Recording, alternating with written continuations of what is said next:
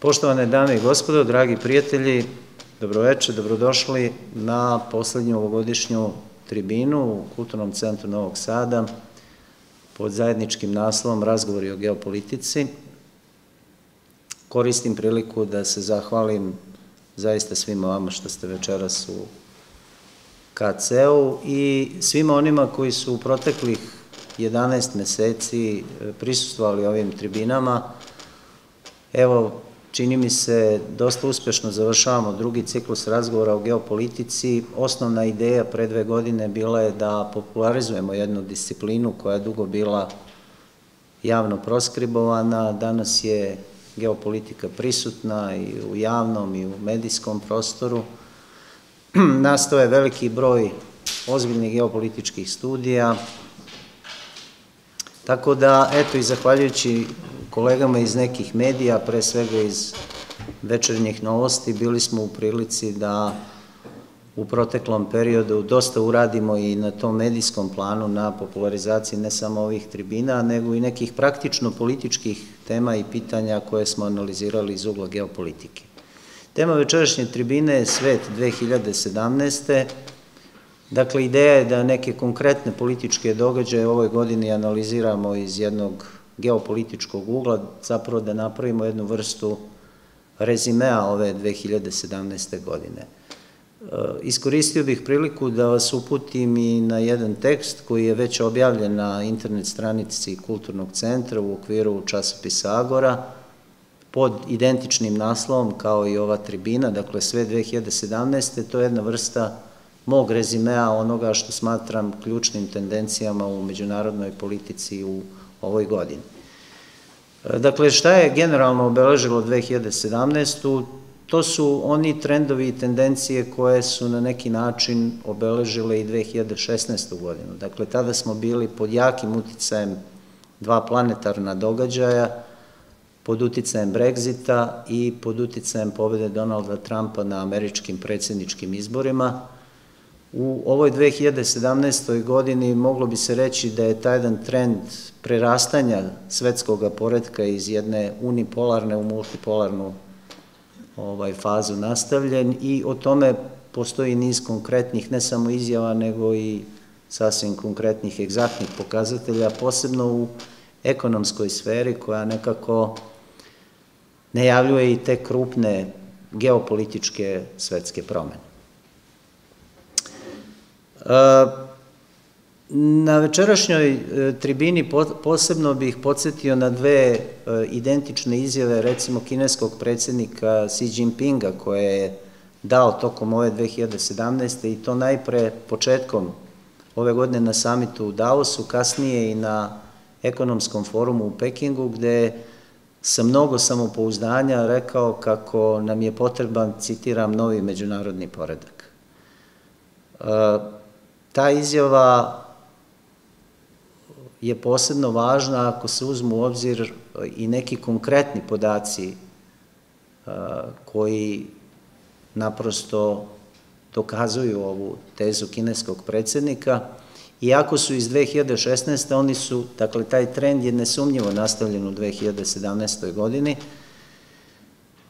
i on je na neki način kulminirao jednom zajedničkom izjavom kineskog i ruskog predsednika, jednom deklaracijom zapravo koja je negde jesenas usvojena u kineskom gradu Xianmenu, gde su oni zahtevali, što je vrlo važan događaj, reformu glasačkih kvota u okviru Međunarodnog monetarnog fonda, koju su oročili praktično do kraja 2019. godine. Kineski predsednik je naveo i neke egzaktne pokazatelje o rastu BDP-a u okviru zemalja BRICS-a, o kineskim investicijama koje su u 2016. godini recimo iznosile, govorimo o privredama Severne Amerike i Zapadne Evrope, neverovatnih 94,2 milijarde dolara, od čega je čak 70% tih investicija otpadalo na kineske privatne korporacije. Dakle, to je vrlo konkretan pokazatelj koji govori koliko je promenjena struktura svetske ekonomije, a uporedo sa njom i jedna svetska politička struktura koja se neumitno menja.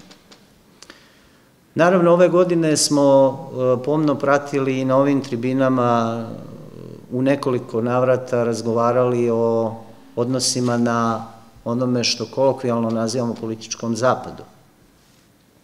Dakle, pomno smo pratili taj odnos novog američkog predsednika Trumpa prema strukturama, elementima američke duboke države i ako smo na početku, ako se ne varam ove godine, dakle negde u januaru bili optimisti i očekivali da će doći do drastičnih promena u američkoj spoljnoj politici, e, danas na, na, na kraju 2017. godine možemo da kažemo da se malo toga ostvarilo iz Trumpove predizborne kampanje. Ja sam pre neki dan razgovarao sa profesorom Trivkovićem koji je barem na našim prostorima, najbolji poznavalac američke unutrašnje i u dobroj meri spoljne politike. On je objavio jednu zanimljivu knjigu Kontinuitet hladnog rata i između ostalog u predgovoru te knjige konstatovao da je aktualni američki predsjednik gotovo u potpunosti reterirao u odnosu na elemente američke duboke države, o čemu svedoči i nova spoljnopolitička strategija koju je potpisao pre izvesnog vremena gde su Kina i Rusija označeni kao suparnici, odnosno konkurenti, što je na neki način na talasu i u skladu sa ranijim spoljnopolitičkim doktrinama ranijih američkih predsednika. Dakle, svi oni koji su imali jednu dozu skepse prema političkim promenama u Americi, bili su u pravu. Ja moram da kažem da sam ja bio jedan od onih koji je smatrao da će te promene ići brže, međutim, očigledno je da su strukture američke duboke države nadvladale inače veoma prihvatljive za ostatak sveta ideje novog američkog predsednika. Jedna od redkih ideja koju je predsednik Trump realizovao u ovih godinu dana, a koju je na neki način najavljivao u vreme svoje predizborne kampanje bila je ona o proglašenju Jerusalima za prestonicu, odnosno glavni grad Izraela i vi svi vrlo dobro vidite i znate koliko je ta jedna kontraverzna odluka izazvala turbulencija u vazda nestabilnom islamskom svetu, naročito u regionu Bliskog istoka, gde je koji je zapravo i ove godine, a tako će biti i narednih godina, po mom uverenju, bio svetska neuralgična tačka broj 1. A, a tamo je zaista u toku jedan rat svetskih razmera i neko je e, brižljivo i pažljivo izračunao da je primjera radi u sirijski sukob uključeno što neposredno, što posredno verovali ili ne, gotovo 80 svetskih država. Ako to nije svetski rat u malom, onda zaista, zaista ne znam šta je.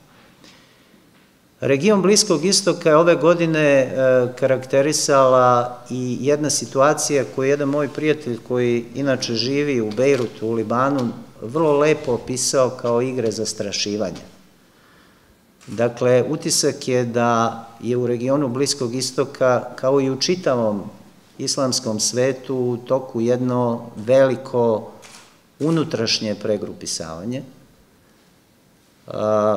I moram takođe da primetim da je potpuno suprotno mnogim očekivanjima, osim Rusije koja se na velika vrata vratila u taj deo sveta veliku veštinu pokazala i iranska diplomatija, koja je što e, učešćem u sirijskom ratu, što koristeći faktore tvrde i meke moći u vazda nestabilnom Libanu, što zahvaljujući jednoj tradicionalnoj iranskoj diplomatiji uspela da na neki način izbegne izolaciju koju su u Iranu pripremale Sjedinjene američke države uz pomoć Izraela i Saudijske Arabije.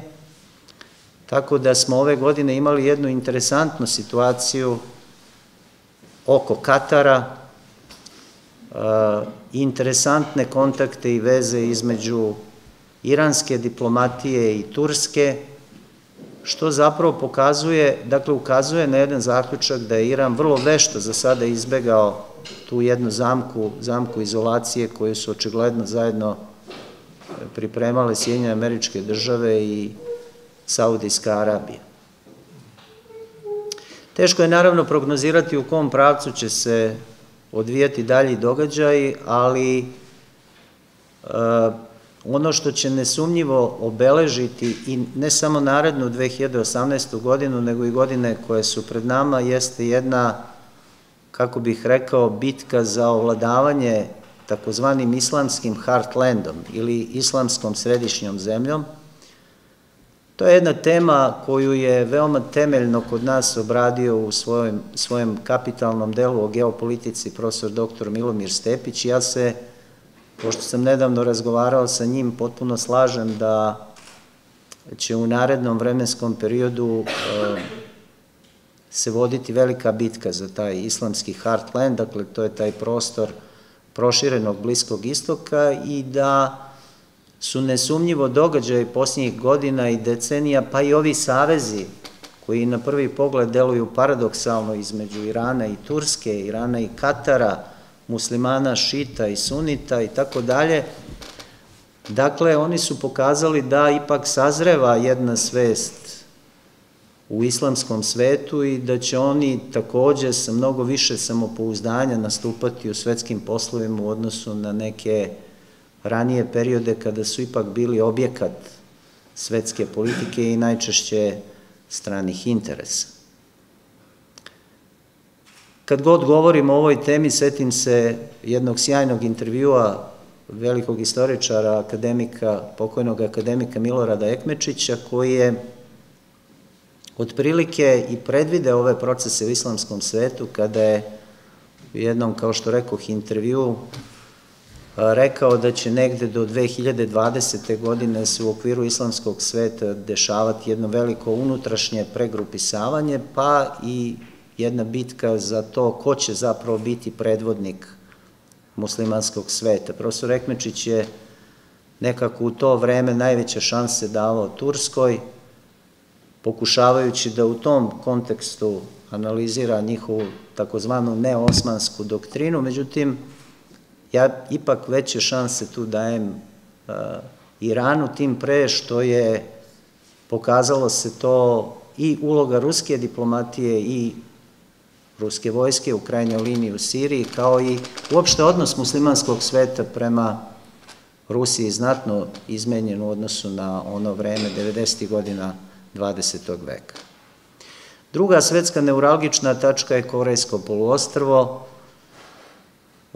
to je jedna stara kriza koja se iznova projavljuje kao nekakva velika pretnja i opasnost miru i stabilnosti u tom delu e, sveta.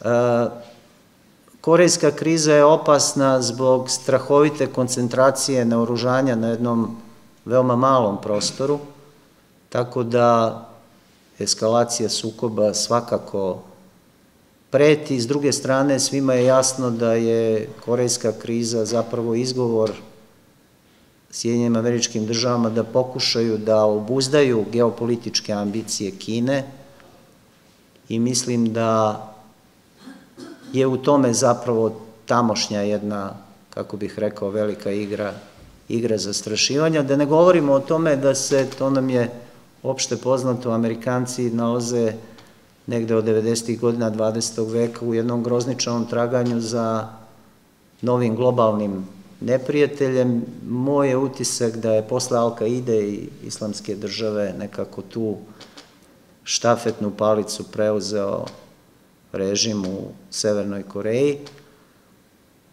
ali je on suviše reč o jednoj suviše maloj državi da bi na na nekakvoj navodnoj nuklearnoj opasnosti koja Americi preti od 15 milionske Severne Koreje, predsednik Trump i vojno-industrijski kompleks mogao da mobiliše američku, američku naciju.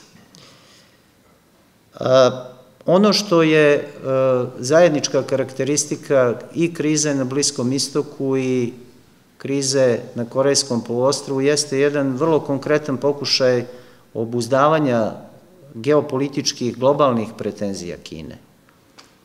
Jer mi praktično posle mnogo, mnogo vremena, ne kažem prvi put u svetskoj istoriji imamo jednu novu situaciju da taj geopolitički, a zapravo geoekonomski put svile povezuje istok i zapad evroazijskog kontinenta. I u tom smislu uh, Kina za razliku od Amerike iz 90. godina 20. veka nastupa vrlo oprezno, ona ne želi očigledno je ulogu nekakvog globalnog hegemona, ona zapravo želi da taj proces globalizacije koji sve više poprima obeležje istoka ide kroz države, kroz države naglašavam, a ne mimo država, kako je to bila karakteristika onog novog svetskog poredka iz 90. godina 20. veka, gde smo imali jedan koncept deteritorializacije, desuverenizacije, prenosa nadležnosti u korist transnacionalnih korporacija, ne državnih aktera, o tome smo opširno pričali na ovim tribinama. E, dakle, gde je u toj velikoj globalnoj geopolitičkoj igri mesto i uloga, uloga Balkana i Evrope zapravo? To je ono što nas najviše zanima. U ovoj 2017. Uh, očigledno je da je kriza Evropske unije nastavljena. Vi i sami, prateći vesti, znate da je u toku jedna skupa brakorazvodna parnica izazvana britanskim referendumom o izlasku iz Evropske unije, a sa druge strane, Evropska unija je ozbiljno uzdrmana nizom separatističkih pokreta, od kojih su neki, poput ovog u Kataloniji, ozbiljno doveli u pitanje, bez obzira što to možda tako u ovom trenutku ne izgleda, budućnost same Evropske unije.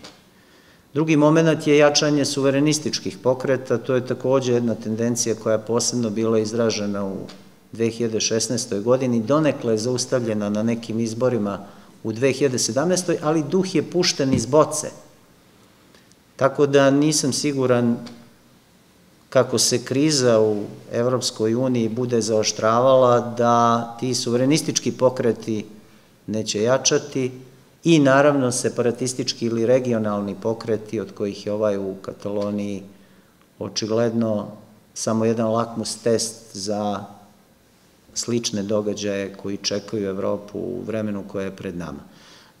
Zašto je katalonski referendum važan za Balkan i za nas. Ja sam o tome često razgovarao sa gostima moje emisije na Novoskoj TV, često sam to isticao i na ovoj tribini. Mi smo zapravo videli da se povodom slučaja Katalonije mnogo više govorilo o Kosovu i da su svi zapravo se pozivali na ovaj ili onaj način na presedan Kosova. Dakle, jedna važna, kako bih rekao, pouka iz ove 2017. za našu intelektualnu i političku klasu jeste da je još jednom dobila potvrdu da je kosovsko pitanje zapravo svetsko političko pitanje. Da to nije tema nekakvih razgovora između Beograda i Prištine, nego da je to pitanje u koje su uključene najuticajnije svetske sile. Vrlo je zanimljivo da Balkan, o tome večeras ne bih mnogo, pošto je to ipak tema kojom se bavimo češće kroz neki dnevni program, ali Balkan je očigledno od 2015. i možda i ranije prolazi jedan novi ciklus destabilizacije. Ove godine su se desile krupne promene na Balkanu. Pala je vlast u Makedoniji, Makedonija je na korak od unutrašnjeg ustavnog redefinisanja. Crna Gora je primljena u NATO.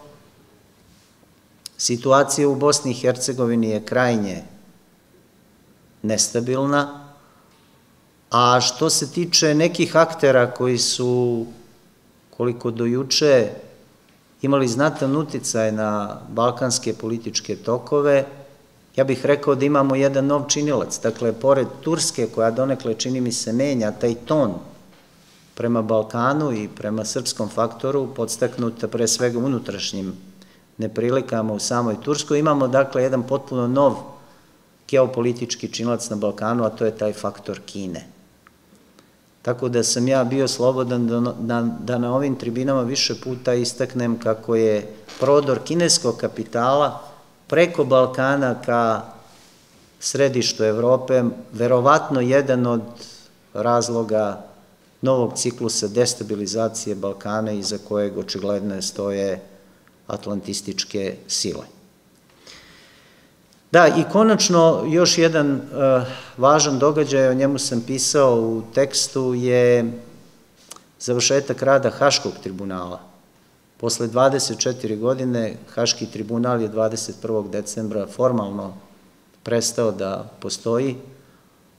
O njemu bi se takođe moglo mnogo govoriti, on je očigledno bio geopolitički instrument i relikt jedne atmosfere u međunarodnoj politici koja je nastala, koja je postojala 90. godina 20. veka, formiranje jednog takvog ad hoc tribunala danas u jednom svetu koji ipak pokazuje obrise multipolarizma ne bi bilo moguće, ali o Hagu će se naravno mnogo govoriti i Hag, iako je formalno okončao svoju misiju, vodit će se i ti važni drugostepeni postupci pred takozvanim rezidualnim mehanizmom.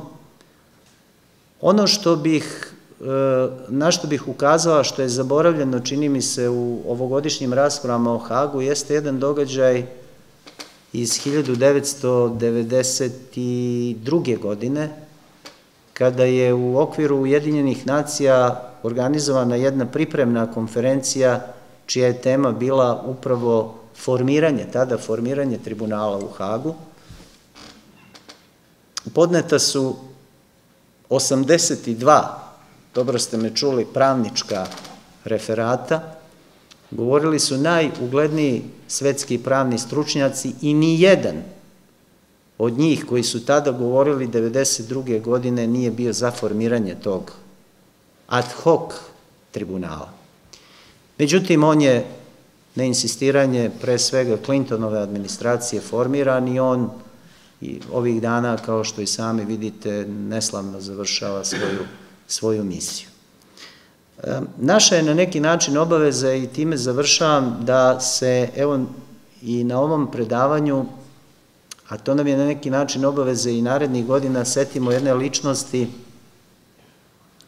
koja je znatno doprinela dekonstrukciji mnogih mitova koje je e, širio taj tribunal u Hagu. To je ličnost velikog intelektualca, američkog intelektualca jevrejskog porekla, profesora doktora Edvarda Hermana, koji je u novembru ove godine preminuo u 92. godini, koji je zaista bio jedan od ljudi koji je mnogo zadužio svetsku akademsku intelektualnu zajednicu. On je bio iskreni, ubeđeni levičar, jedan intelektualac koji je bio moralno angažovan, čovek koji je bio veliki prijatelj sa drugim velikim intelektualnim autoritetom Čomskim i koji je za nas posebno važan zato što je svojim knjigama, studijama, okupljanjem intelektualaca, pre svega na zapadu, doprineo dekonstrukciji zvaničnog srebreničkog narativa.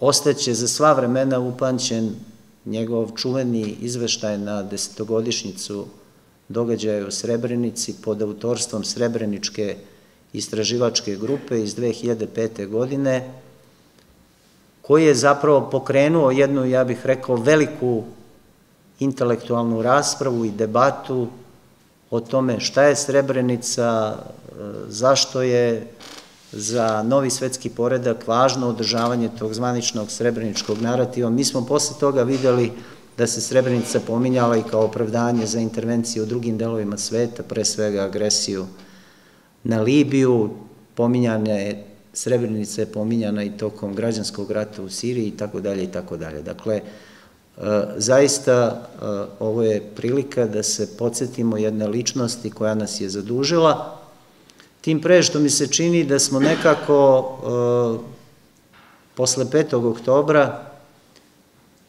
a valjda smo takvi, a možda i nismo, ali je to nekakav zvaničan medijski utisak, zaboravili one intelektualce koji su 90. godina, kada nam je bilo najteže, se borili ne za srpsku stvar, nego su prosto bili posvećeni istini.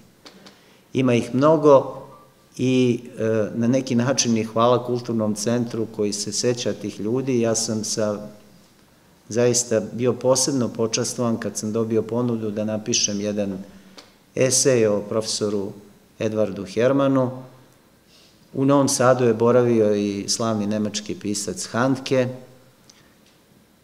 Ti su ljudi zadužili mnogo e, Srbe, opet ponavljam, svetsku intelektualnu i akademsku zajednicu i ti ljudi, zapravo njihovo postojanje govori da sve nije izgubljeno i da postoje veliki, veliki otpori na zapadu toj ideji da se svet pretvori u jednu globalnu samoposlugu transnacionalnih korporacija, da se ljudi pretvore u zamorčiće, u jedan eksperimentalni poligon, da postoje dakle ljudi koji ozbiljno pišu o temi slobode, o temi nacionalne slobode na zapadu i to je ono što, što nam daje razlog za, za ipak optimizam. Naravno, nije ni pesimizam loš, samo pod jednim uslovom da je borben. Dakle, ne treba biti ni optimist bez pokrića, možda je lepše biti borbeni pesimista, ali u svakom slučaju, eto, ovom izrekom koja nije moja, nego izreka jednog pisca sa ovih prostora, ja bih završio večerašnje kratko izlaganje uz poziv da se vidimo i naredne godine, ako Bog da, pod zdanjem Kulturnog centra Novog Sada, kojem se ovom prilikom, kao i vama, posebno zahvaljujem.